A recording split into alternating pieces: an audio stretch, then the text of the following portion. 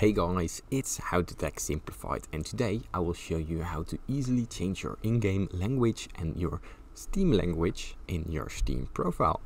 Simply uh, first off open up your account. Now from here you go down to the homepage of your Steam program.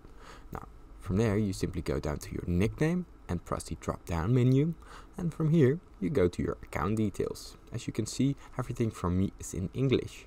Here you see your language preferences.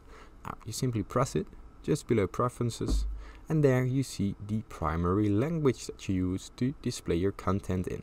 Now I've chosen English but you can choose Dutch, Finnish, French and any language that you like. Now here you can see a secondary language. Here it also shows me content in these languages such as store page description and a user reviews.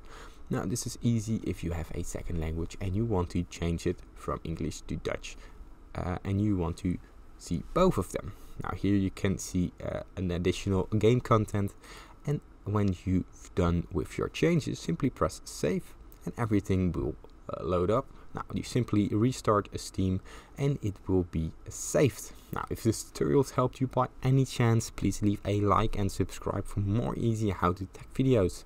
Thank you for watching.